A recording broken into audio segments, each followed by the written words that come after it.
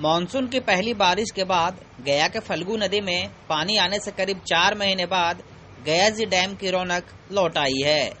गौरतलब हो कि डैम के अधूरे काम को पूरा कराने के लिए डीएम के निर्देश पर मार्च महीने में यहाँ से पानी निकाल दिया गया था। डैम के निचली सतह पर जमे गाद को हटाने के लिए डैम से पानी निकाला गया था, लेकिन पिछले कुछ दिनों से हो रहे लगातार बारिश के कारण फल्गु नदी में पानी आ चुकी है और अब यहाँ देश विदेश से आने वाले श्रद्धालुओं को तर्पण करने में परेशानी नहीं होगी।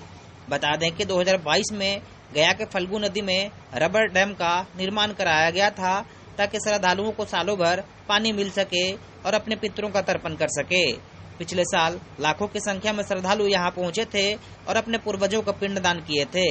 पिंडदान के दौरान पिंडदानी नदी में ही पिंड को डाल देते थे जिस कारण नदी के निचले सतह में तकरीबन एक फुट तक गाद जम गई थी जिसके साफ़ सफ़ाई तथा नदी के दोनों ओर कंस्ट्रक्शन का काम कराने को लेकर मार्च महीने में गया जिला प्रशासन के निर्देश पर नदी से पानी निकाल दिया गया था।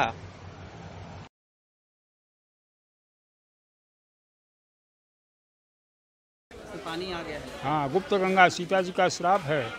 ये रामचंद्र से आए, थे सीता जी को बैठा के सामान लाने गए थे। ब्राह्मण गौ तुलसी को बोली कि कौन साक्ष्य है तो ब्राह्मण? दशरथ जी ने सीता माँ ने दशरथ जी को प्रदान दे दिया।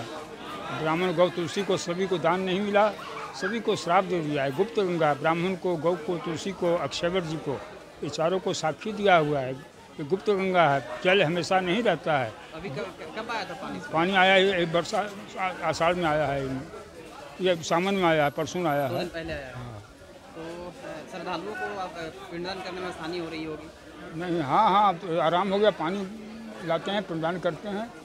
ऐसे गुप्त गंगा सीता जी का साफ़ है पानी ऊपर से निकलता है खोद के सब लेते हैं पानी। गर्मी के दिन में तो नदी में पानी नहीं था नहीं हमेशा हाँ ये बोरिंग का पानी है फल्गु नदी इसी से पानी ले जाते हैं सब प्रदान करते हैं जल फल्गु नदी का। चूँकि यह मानसून की पहली बारिश है, जिस कारण नदी के पानी को रबर डैम में स्टोर नहीं किया जा रहा है और डैम को खोल दिया गया है ताकि गंदा पानी निकल जाए। गया से लोकल लेटिन के लिए कुंदन कुमार।